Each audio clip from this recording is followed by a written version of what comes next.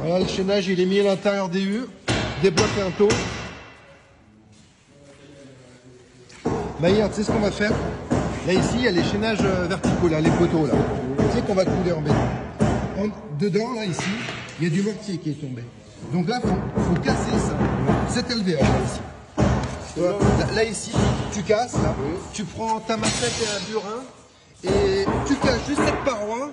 Et faut nettoyer tout par terre. Tout ce mortier qui est tombé. Et après, on y mettra une planche de coffrage contre. Et comme ça, on coulera avec du béton jusqu'en bas. Ce sera bien propre. Il faut faire ça à chaque angle. Parce qu'à chaque angle, on a des poteaux.